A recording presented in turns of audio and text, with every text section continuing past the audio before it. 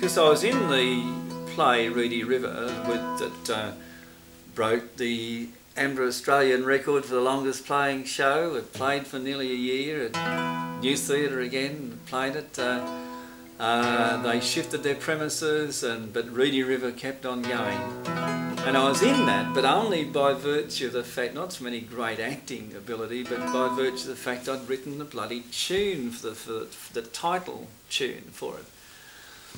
And the way I wrote that was that I'd, uh, whenever I was sitting in a train going to school, whenever I uh, ran out of uh, Mozart tunes to hum to myself, uh, I, would make up my own tunes. And uh, some stage, someone, or I, I, don't know, someone suggested, why don't you try and set some Lawson to music? There's that. I was, had a book of Lawson's poetry for a birthday or Christmas or something.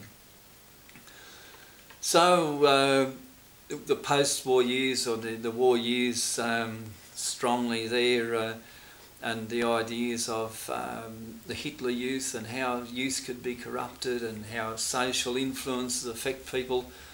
Here was Faces in the Street that explained why people could be could be uh, become derelicts and um, delinquents and so on. So Faces in the Street meant a hell of a lot to me when I read it and I tried to set that to music. And I didn't even know about major and minor tunes. And every tune I tried to write for Faces in the Street, it turned out to be in a minor key and I didn't think it would work. I thought, oh, I can't sing that to anyone. So in desperation, I, uh, sitting in a bus one night, I just flicked this book of Lawson's poems open it, and there was Reedy River, and I read it, and I thought, ah, oh, that's beautiful, I'll just try that.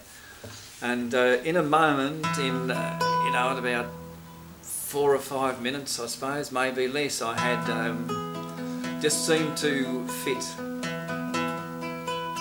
Ten miles down Reedy River, a pool of water lies. All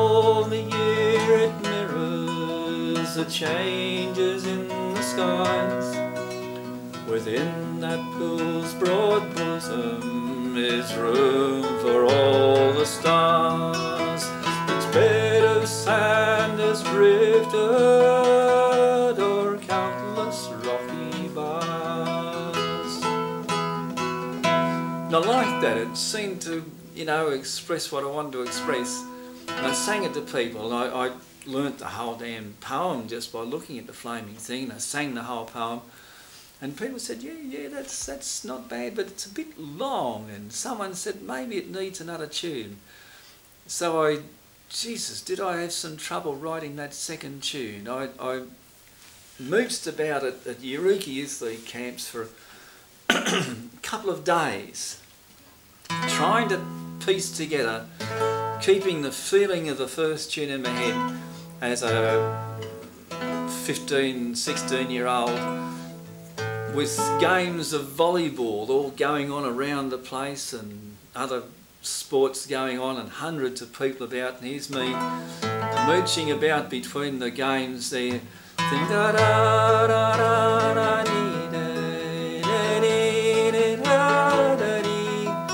I finally got pieced together line by line something that seemed to go with the first tune.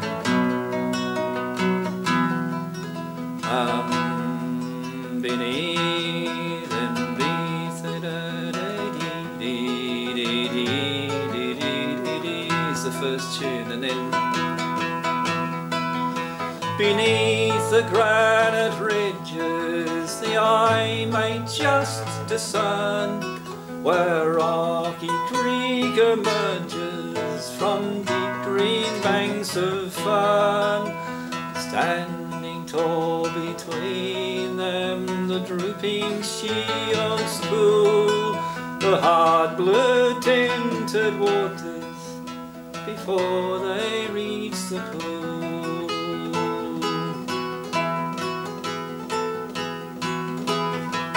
Ten miles down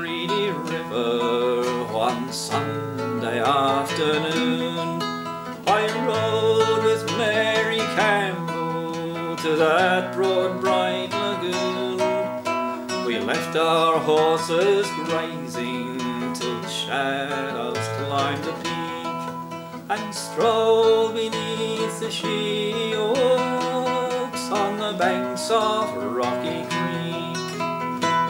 Then home along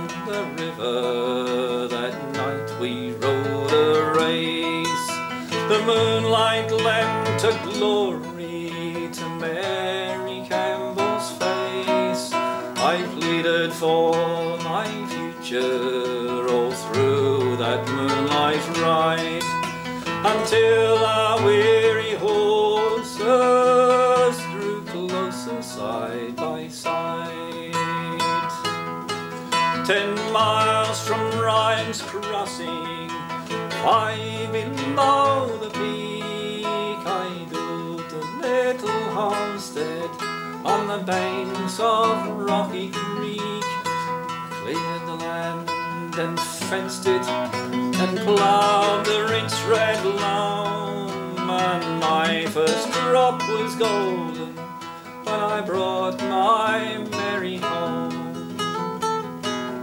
And so on there. And I, I like the way the B tune worked, but by geez, it took me a while to, to work it out.